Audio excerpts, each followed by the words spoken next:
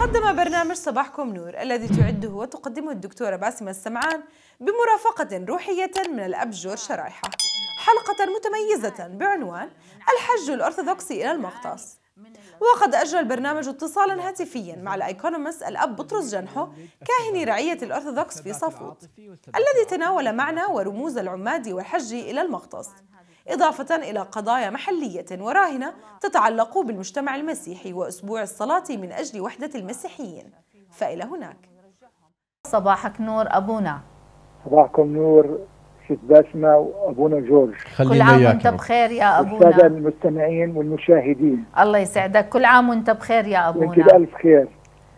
آه، آه، ال- الاحتفالات إن كان بعيد الميلاد أو بالعماد السيد المسيح بالإختصاص وإحنا بالأردن طبعا آه، من موحدين التواريخ الأعياد من الأرثوذكس بعيدوا مع المسيحية ال- الكاثوليك بعيد الميلاد ونحن نعيد شرقي لعيد الفصح فنحن نعم. بالأردن بقول إنه هاي نعمة كبيرة إنه هذه معناتها الوحدة المسيحية لما بنقول عن الوحدة ف آم، طبعا هو عيد ال- الميلاد بيكون بسبعة واحد للكنائس الشرقية والعماد لذا تختلف التواريخ عندنا. نحن شرقي وغربي آه، تفضل أبونا. تخبرنا عن احتفالات آه، الاختصاص للكنائس الأرثوذكسية ب اعتادت كنيستنا المقدسة الأرثوذكسية.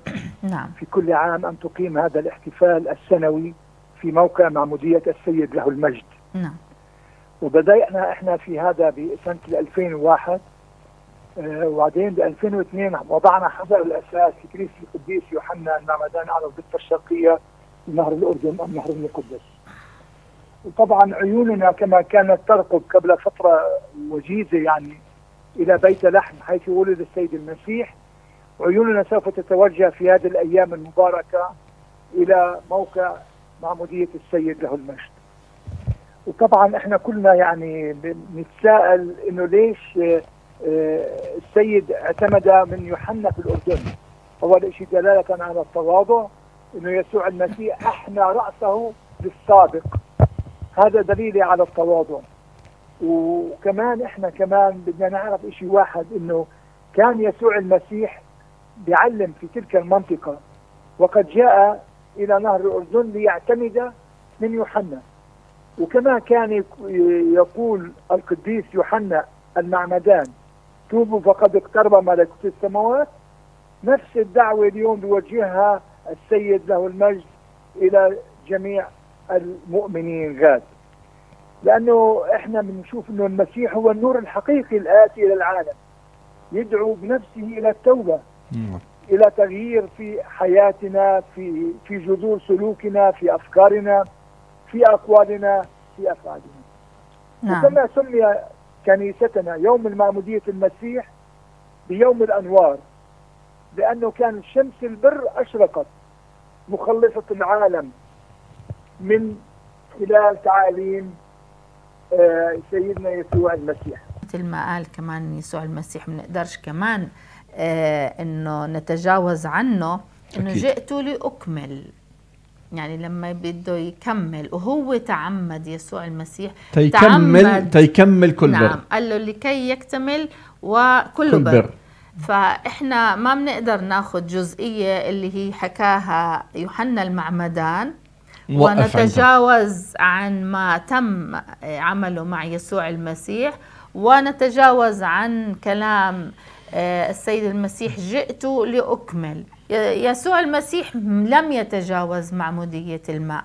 إحنا بدنا نتجاوز معمودية الماء على كلام يوحنا المعمدان ونقص الباقي. ومعمودية هي اللي بتوحدنا كمسيحيين كمان كل المسيحيين بروتستانت إنجيليين أو مسيحيين بالضبط. من الكنائس ال- مهما كانوا. نعم.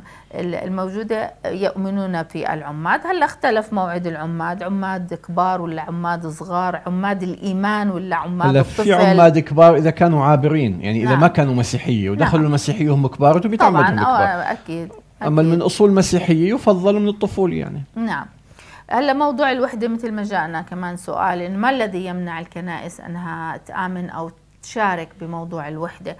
هي الكنائس أحيانا في عنا نحن آه، في اختلافات اختلافات بالعقائد أحيانا باختلافات بالطقوس اختلافات ببعض المفاهيم مثل ما دي اللي, اللي, السؤال اللي حكى بقول لك معمودية النار والروح القدس في اختلافات يعني بتكون موجودة بيناتنا لكن يجمعنا شيء أكثر وأكبر من هذا إنه كلنا نؤمن بالسيد المسيح كلنا نؤمن بالله بربنا كلنا نؤمن بالسيد المسيح وتعليم السيد المسيح وما جاء به من تعليم السيد المسيح. الاختلافات هلا بناء على الثقافات بناء على المناطق بناء على نعم، الناس اللي, اللي أخذت هذا التعليم. صلاة الوحدة مثل ما حكينا بنصلي واحد مش عشان نعمل اللاتين أرثوذكسي والأرثوذكسي كاثوليكي والكاثوليكي إنجيلي ولا سرياني ولا لا إحنا بنصلي مع بعض كجماعة. يعني بنجتمع للصلاة من أجل وحدة المسيحيين الوحدة بالإيمان الوحدة الشركة نشترك مع بعض بالصلاة من أجل العالم من أجل السلام من أجل مشاكل. كيف مجلس رؤساء الكنائس الأردن بيجتمع مع بعض؟ مثلا في قضية صارت موضوع اللغط اللي صار مثلا بقضية التمثال. بيجتمعوا مع بعض الاعتداءات الكنسية اللي عم بتصير بالأراضي المقدسة. بيجتمعوا مجلس رؤساء الكنائس يطلعوا بيانات. لما بتصير في هزات في البلد بالشعب المسيحي بيجتمعوا الكنائس عشان يحكوا كلمتهم كمسيحيين. ما بيحكوا لا أنا ما بدي أحكي معك إن إحنا كمسيحيين. لا أنت بتختلف معي بموضوع العماد أنت بتختلف معي بموضوع القربان أنت بتختلف الممحكات حذر منها القديس بولس كثيرا. بس أنا بحكي إذا بدي أحكي فلسفة بحكي إحنا متحدين الكنائس المسيحية في نعم. الأردن بالقوة. ولكننا ليس متحدين بالفعل في بعض العقائد وفي بعض الأمور اللاهوتية، لذلك نحن نجتمع لصلاه الوحدة لأجل محبتنا لبعضنا البعض، نعم. عشان نعبر للأخوة المؤمنين اللي شايفين إنه في انقسامات طائفية نعم. للأسف الشديد، فبنقول لهم إحنا المحبة أقوى، المحبة نار آكلة لكل رذائل، المحبة نار نعم. ممجدة نعم. تأكل كل الخطايا، وتخلينا مجرد إنه الشعب يشوف الارثوذكسي واقف في جنب الكاثوليكي في جنب البروتست عفوا الإنجيلي نعم. نشوفهم كلياتهم بيصلوا مع بعضهم البعض هاي فيها رسالة محبة نعم. ولكن إحنا القانون يجبرنا أن نكون متحدين نعم. في قرارات زي ما تفضلتي بتتطلب من الكنائس انه يجتمعوا مش بكيفنا بدنا نجتمع نعم. بقرار واحد فأنا بشوف أبونا الانقسام بالكنيسة هو تجربة من الشرير